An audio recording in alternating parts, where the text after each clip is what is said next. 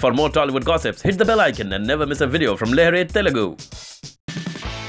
While everyone is waiting for the film of the year Bahubali 2.0, Telugu fans are all excited to have a look at the project on which Mahesh Babu is working along with A.R. Murugadoss. And it seems fans are not just the only entity who wanted to know what the director actor duo is up to.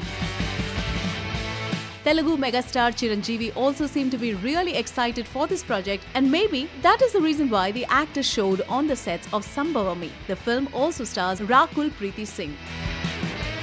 The movie's director A.R. Murugadoss was also moved by this surprise visit and tweeted about it.